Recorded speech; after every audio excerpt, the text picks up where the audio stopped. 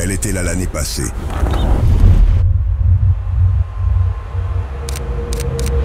Elle a rassemblé plus de 600 personnes.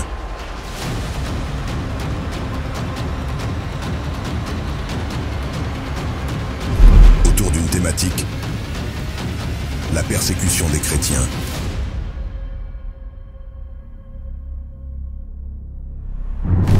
Et cette année, elle revient, plus forte que jamais, groupe de louanges Worship Noise, avec un pays à l'honneur, le Yémen. Yemen, a war-torn country where Christians, if discovered, face the death penalty.